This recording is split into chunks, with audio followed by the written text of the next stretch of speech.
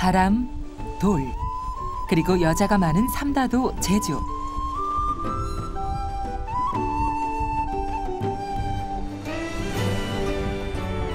화산 폭발로 생성된 제주는 토질이 척박해 대부분의 농가는 감자와 당근 같은 밭농사가 대부분인데 특히 북쪽에 위치한 구좌읍은 제주도에서도 감자와 당근의 주 생산지로 유명하다.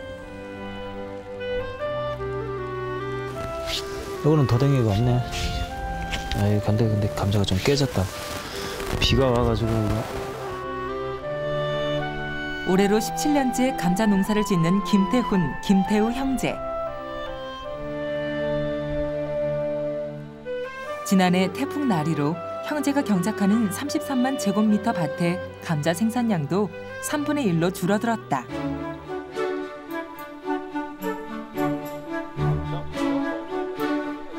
김태훈 씨가 처음 감자 농사를 시작했을 때 대부분의 농가는 일본산 대지마 씨감자를 수입해서 사용하고 있었다.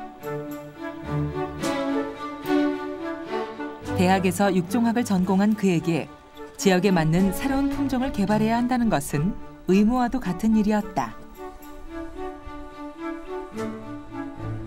그동안 일본 씨감자를 그 고집하던 분들이 에, 관공서라든지 우리나라에서도 못하는 일을 이제 갓 졸업한 네가 어떻게 할 수 있느냐.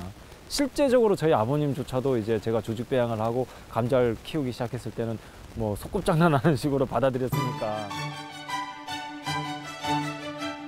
1kg당 15,000원이라는 터무니없이 비싼 일본 씨감자에 맞서 환경이 특이한 제주에 적응할 수 있는 씨감자는 반드시 개발되어야만 했었다.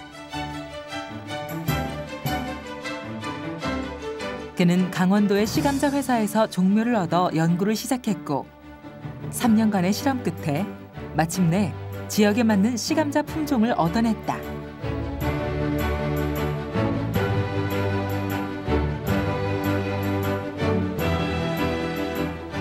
사무실 한쪽에 마련된 배양실. 이곳에선 조직 배양으로 얻은 묘종이 자라고 있다. 감자는 씨앗이 아닌 감자를 다시 심는 번식 식물이기에 세균이나 병충해 감염되지 않은 우량한 씨감자가 농사를 위해서는 반드시 필요한데 감자는 땅에 들어갈 때마다 나이가 계속 먹어가게 되는 겁니다. 그러면 어, 사람 나이로 50이 넘어가면 노화되듯이 감자도 땅에 두세 번 어, 똑같은 걸 심게 되면은 계속 감자 자체가 태화돼 버립니다. 그래서 그 태화되는 거를 이제 막기 위해 가지고 이런 조직 배양실에서 다시 어린 나이로 만들어주는 음, 작업을 하게 됩니다. 그는 매년 자신의 감자로부터 성질이 각각 다른 만여 개의 표본을 추출해낸다. 이 표본들을 계속 교배하면서 우수한 종을 찾기 위해 노력하고 있다. 감자 농사에서 씨감자의 중요성을 생각한다면 그의 이러한 노력은 의미 있는 일이다. 약 여기 있는 거는 약 100개 정도를 제가 선발해 온 상태입니다. 여기서 다시 제가 어, 어, 정밀한 검사를 통해 가지고 한 10개 채 정도 어, 선발을 하게 됩니다. 그 10개 채가 어, 봄에 이제 밭에 이제 심겨지게 되는 것이죠. 감자는 보통 겨울에 심어서 여름에 수확하는 것이 원칙이지만 제주도의 감자는 여름에 심어서 이듬해 1월부터 4월까지 수확한다. 그렇기 때문에 더위에 잘 견디는 씨감자가 필요한데 지역의 풍토에 맞게 개발한 김태훈 씨의 씨감자는 그만큼 경쟁력이 있다. 그 덕분에 감자의 생산량도 더 많아졌고 품질도 향상됐다. 유전 자원이 좋은 그 우량 품종일수록 그 생산량이라든지 품질을 더 향상시킵니다. 그래서 수입 농산물이라든지 아니면 어, 남들과의 차별화를 두기 위해서는 좋은 품질의 종자를 써야만이 좋은 상품을 얻을 수 있는 확률이 어, 더 높습니다. 이렇게 개발된 씨감자는 제주의 감자 재배 농가에 보급되고 있는데 몇 해 전부터 화학 비료를 적게 사용하는 친환경 재배 방식을 도입하면서 크기도 고르고 품질도 더욱 좋은 감자를 생산할 수 있게 됐다. 아, 물건 괜찮네. 선들도 괜찮고. 친환경 물건 치고는 글쎄 친환경을 이런 식으로 이 정도만 치- 한다면은 이거는 음, 경쟁력이 있겠는데. 음, 그렇지. 수입산 시감자보다 월등히 저렴한 김태훈 씨의 시감자. 그는 연중 비슷한 가격으로 농가에 시감자를 공급하고 있다. 또 몇몇 농가가 일본산 시감자의 연작 피해를 겪으면서 세대가 짧아 젊은 그의 시감자를 선호하기 시작했다. 일단은 최하 못해도 뭐 한 1, 2, 3대 정도에서 지금 농가 보급을 하고 있기 때문에 전체적으로 상품성의 질이 좀 높고 그 다음에 뭐 일단은 뭐 부피가 커지다 보니까 일단은 뭐 평균적인 이런 생산량도 좀 증가하는 편이고 일단은 뭐 확실히 우리가 믿을 수 있으니까 일본 시감자 같은 경우에는 들어와도 저게 얼마나 이 밭에 들어가고 몇, 몇 대를 거쳐서 우리 손에 들어온지도 확실치가 않고 예, 이런저런 부분에서는 일단은 믿음이 가니까 계속 사용을 하고 있습니다.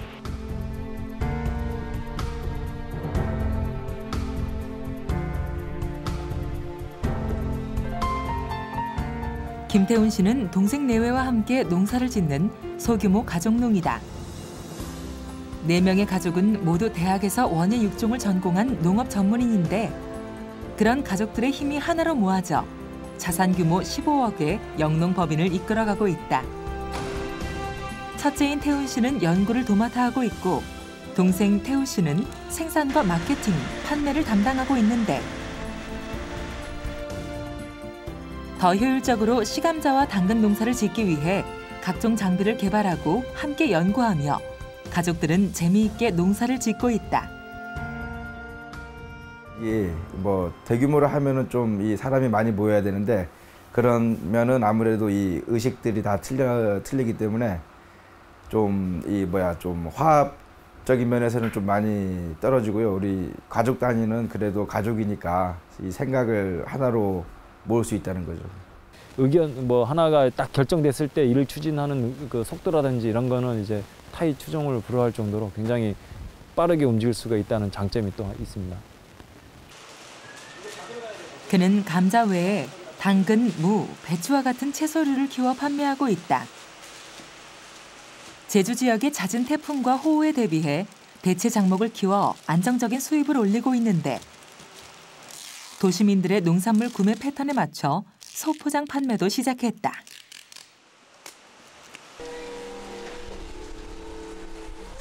대도시의 마트와 시장에 납품하면서 올해는 매출 10억을 내다보고 있다.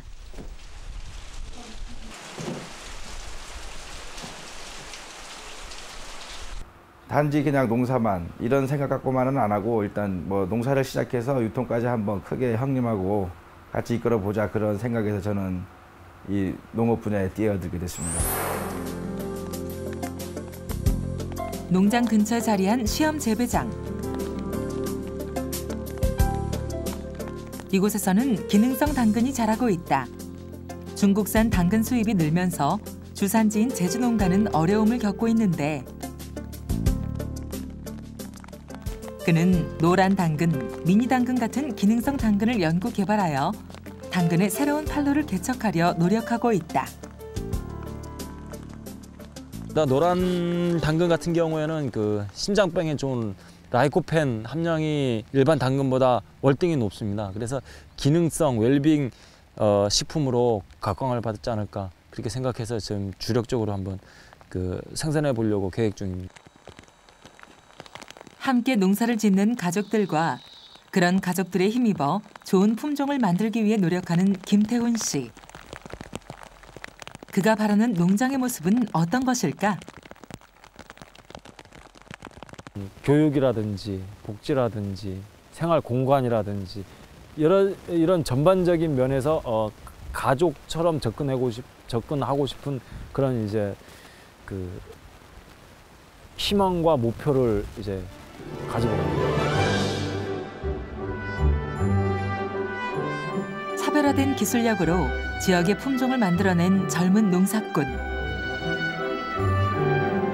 작지만 강한 가족농을 실천해가는 그를 통해 끊임없는 연구와 실천하는 열정만 있다면 우리 땅의 소규모 농업인도 자신의 꿈을 이뤄낼 수 있다는 가능성을 확신해 본다.